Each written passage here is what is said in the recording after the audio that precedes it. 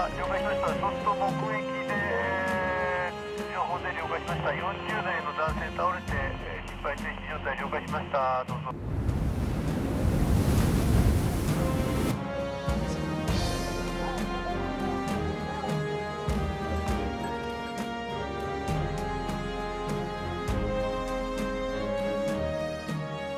山小屋の何番人って言うとおかしいんだけど山小屋の番人が短くなって小屋番になったそうだな。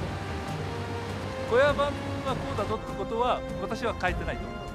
やっぱり山に守られながら私たちも山にその常に感謝とその恐るおののく何があるかわからない、えー世界ということで。でそれはやっぱりその登ってくる登山者にもここから上の山の世界は昔と全然変わってねえんだぞというのは伝えたい。これは。これを伝えるのが我々小屋番の役目。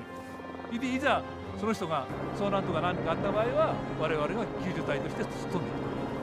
小高はね、あの人が死んでしまう厳しい山ですからね